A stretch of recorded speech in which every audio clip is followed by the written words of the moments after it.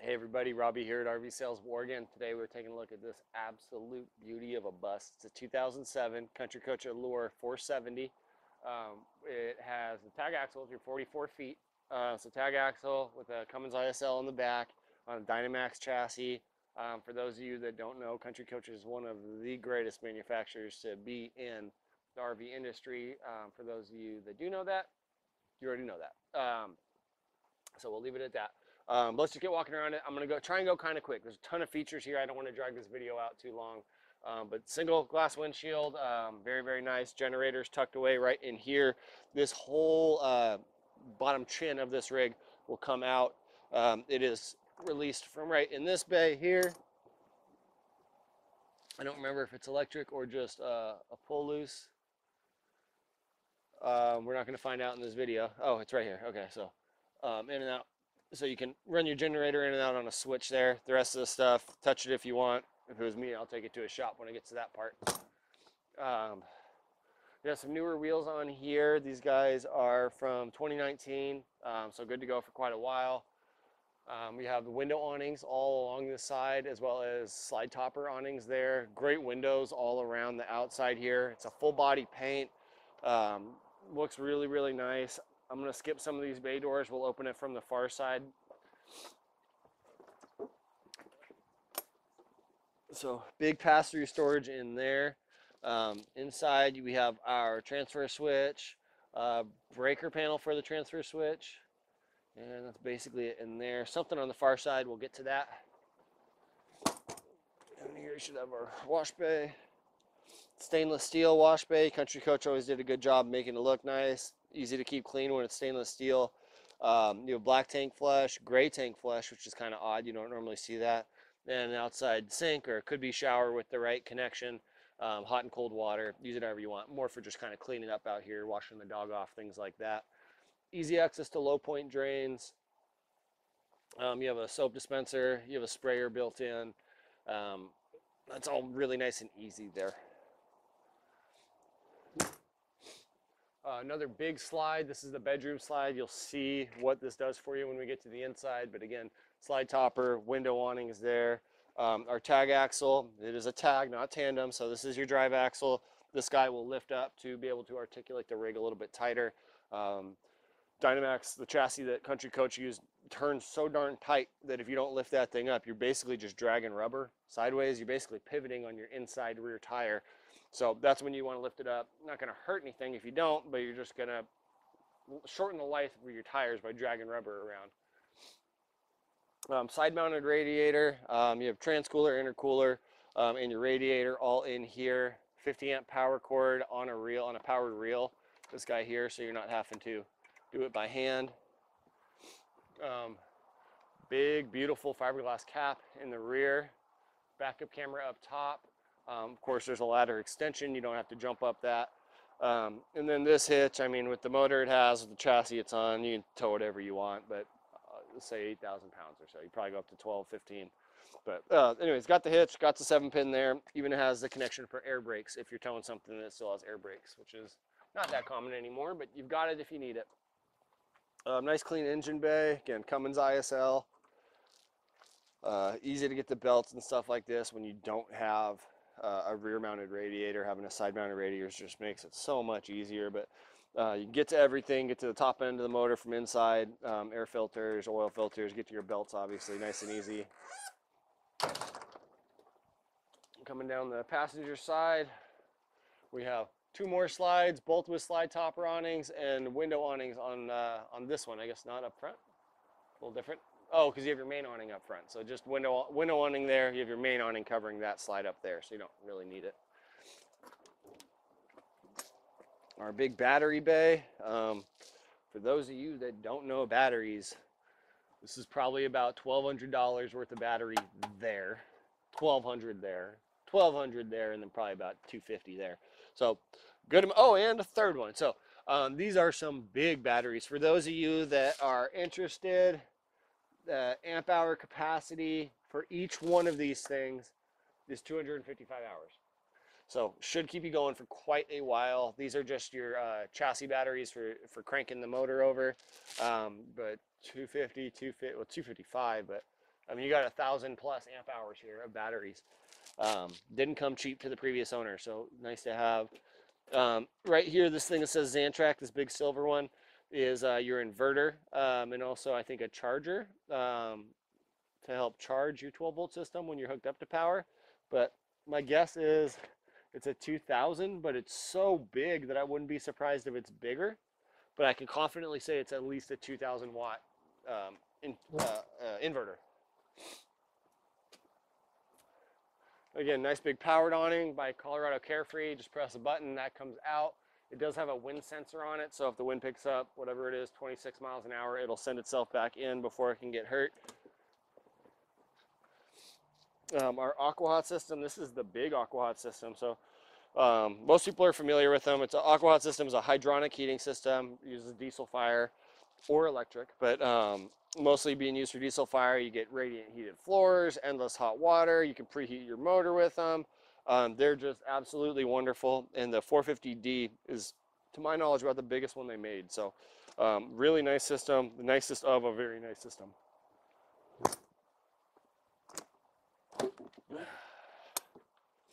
Here we have, oh, this is a mystery tub. Let's see what's in here. Oh, a TV. Ooh, how fun. Might be time for an update on the TV, but check that out. That's pretty cool. Swings out. Oh, yeah, this thing's a dinosaur, but um, TVs have only gotten smaller, so whatever you decide to put in there, you're to have some extra room when that thing slides away. But very cool.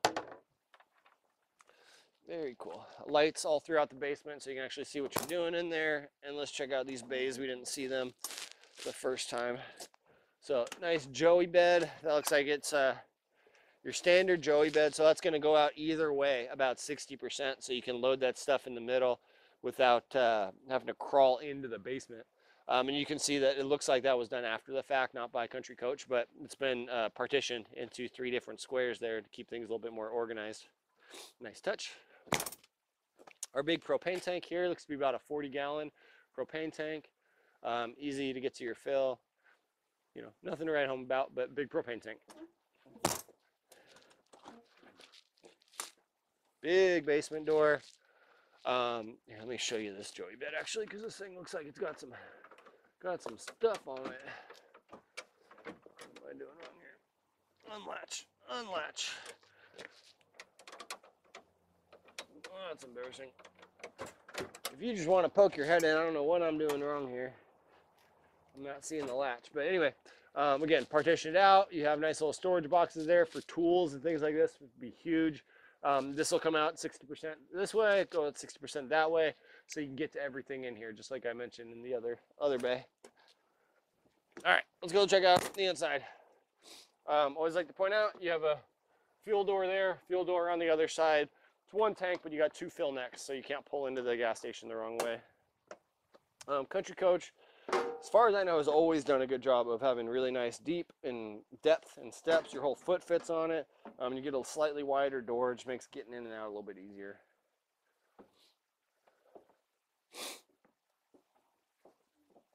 But come look at this beauty. Don't spoil it. Don't look back yet. Um, so kind of your, your standard setup, you have, well, I shouldn't say standard. Used to seeing these in these nice diesel pushers. You have the smart wheel here. Um, you can set your cruise control, your brights, um, high idle there, your windshield wipers, your fog lights. Everything's controlled here. You don't have to take your hands off the wheel for the stuff that you know you immediately need while driving. HWH leveling system. This is a hydraulic leveling system. Um, four point jacks um, with does not have auto level. So you're leveling it out yourself. Um, but just nice. HWH is still being used to this day for almost every pusher. So nice system there, easy to work on. People like them for good reason. Uh, on this side, we have our Allison six-speed transmission selector. Um, I believe this is an Allison 3000. Um, pretty standard setup there. Most people know that, but it's all push selected. You have a two-stage exhaust brake. So three-cylinder and six-cylinder. You can select that or just turn it off. Um, you have powered visors here for these guys up front. These ones on the side are manual. Um, these are your privacy curtains. So, so this guy is for a full shade block. You can put that down, but it's not meant. I mean, it can be used for privacy. It'll block everything you want to, you don't want people to see. But but these are your true privacy curtains. These guys close um, all the way around, or they meet with another one on that side. Um, updated head unit here. Um, actually, no, it could be original. I don't know, but it's also a DVD player, so I know it'll play the DVDs for that. It's all programmed throughout, so it's also it plays through all the speakers in here as well as your TV will do the same thing. Um, this is your engine diagnostics and just computer board for the rig, so you can check diagnostics, see how your trip's going, um, fuel consumption, temperatures of different units on the rig, um, battery levels, it, almost anything you could think of. That's what this is for here. Um, and then just kind of your standard stuff here. You can select your backup camera. You can adjust these pedals. Um, so it is a all air system, but you can adjust these pedals. Um, yeah, lift your tag axle up. Anyway, not enough about that stuff. Let's keep going. Um, both of these seats do recline. They do swivel. This one actually has the leg rest on it, and they're actually both heated and massage chairs as well. So nice stuff there. Um, added in after the fact, but a great touch. Maps, books, whatever it might be, magazines, um, rack there and rack here. Um, also added in a central vacuum. That's what this unit is here. And then you get this kind of nice big work area. You can use it, you know, however you want. Um, this guy pulls out for like keyboards and things like that. Um, but just a nice desk space or just more storage, whatever you need to use it for. I mean, you have all these cabinets, more storage up above. I always have to point out when when we're in these kind of coaches, the videos can't quite show build quality unless you've been in one of these things. But it's all solid wood throughout this thing. Uh, looks to be like a maple, a really nice maple. Um, Corian counters. You have true tile floors. I mean, these things were made so beautifully. Um, all these here that you see are heat exchangers for that AquaHot system. So on this rig, you, you have heat pumps, you have a propane furnace, and then on top of all that, when you're running your diesel fire furnace, which is diesel or electric, you can use the heat exchangers to force air through it and actually heat the place like that. So you have three different ways to heat the rig. Um, but again, also with this tile, so nice to be barefoot with heated floors. You know, in the morning you don't have cold feet. Um, we have Corian type counters here in the kitchen. We have, I believe, a three burner stove by Atwood. Yes, we do. Three burner stove by Atwood. Microwave convection oven right above it, um, called an Advantium 12.0. Good size one, bigger than most ovens you're going to get in a motorhome. Um, let's see, that's just a towel rack, big storage, pots and pans, things like that. Always need to have a big one for that. Um, and there's more all the way around. I think this was added in after the fact, but very handy. Um, oh, forgot about the couch right behind you. This guy does pull out into a bed. There's nice a pleather couch. It's got the pull-out style bed there. So the biggest of them probably going to be right about a queen size, maybe a little bit shorter. Um, again, I can't say enough. Look at all the beautiful woodwork. Everything's dovetailed on these, the way they put together, and it's solid throughout. Even your balances on your windows are made of solid wood. Um, Country Coach always has to do a good job putting their little bar in, just a touch of class. We have the, the floating table here that leaves out to dine for. There's two folding chairs in the back that come with it. More storage by your dinette here, um, and a nice place to keep something to protect yourself right up there. That's what I'd use that for. I know exactly what I'd keep up there. You can use it however you want. Nice hidden space. No one really goes looking for stuff in. Um, you have this nice pantry opposing your your fridge, right as it should be. Canned goods, dry goods, plenty of space for that stuff. We have a two-way fridge here, gas and electric, propane and electric, I should say.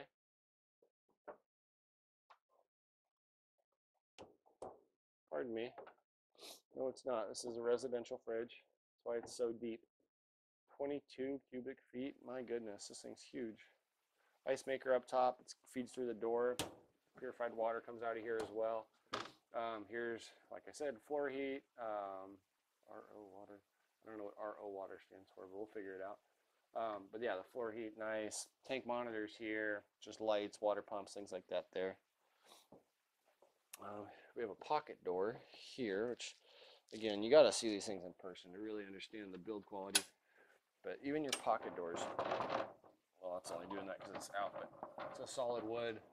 You know, built really nice, good rollers, feels sturdy. Come on back. I want to take a peek at that commode there. Plenty of room for your knees, porcelain potty. Um, good storage up behind the commode there. Uh, and a nice little vanity on the other side. Still Corian on the counter, medicine cabinet as well. Perfectly functional little rig here. Control panels here, room extensions, uh, room selectors for running your slides out, um, meter for your shore power, and just your thermostat. So it's zoned heating, you can have it warmer up there than back here, or however you want to do it. And then the Xantrex here is for that inverter that we looked at from the outside.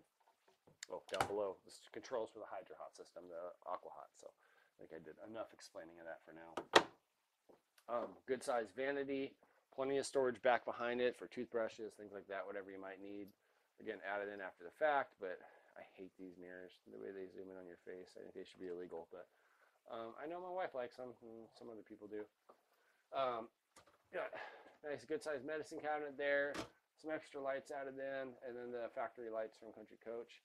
Um, good storage down below. Nice thing about these two, they're just logical. All your water pump buttons and things like that are all always right next to where there's water. Um, so you don't need to go walking through the house to turn your water pump on. Um, good sized shower in here, nice glass enclosure. Um, super good in height. I mean, I'm I'm six two, six three with my boots on. I can get my hands literally straight up almost. Um, plenty of room side to side. Um, it's got the nice little shower head in here and shampoo and soap dispenser. Um, coming into the bedroom, this is where the tile ends, um, and I think for good reason. It's kind of nice having carpet when you first get out of bed in the morning. So, carpet there. Here we have a queen size bed with plenty of room to put a king in. If you wanted to put a king in, it's actually built for that. So, um, if you want to go bigger, please by all means go bigger. Do whatever's best for you. Um, you have plugs on either side of this bed with your nice little nightstands. Um, good storage up above, and um, you know good good storage right there to the camera side of the of the bed there.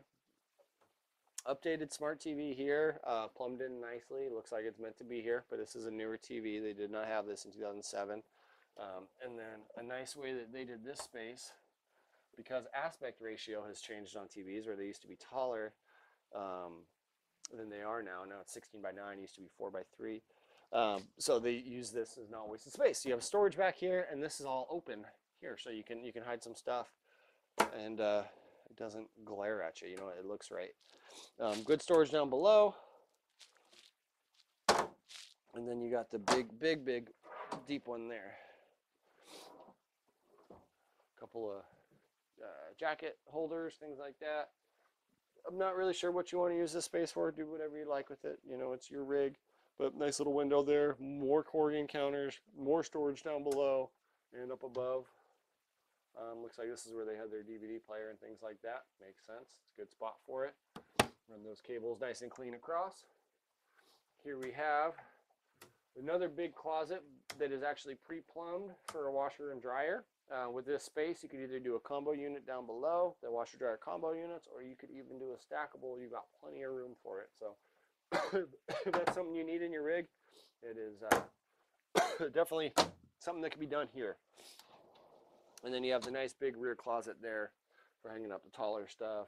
Probably, you know, hers, his, that one. That's probably how it would go, at least in my household. More storage to the side as well. And then here we got some stuff that uh, I think is just not exciting in that box. Things, engine components and, and such. But let's see if we got any storage under this bed. Probably not much. Sure don't. Heat exchanger, giant subwoofer under the bed. Didn't know that was there. That's kind of nice. It'll rock the bed pretty good.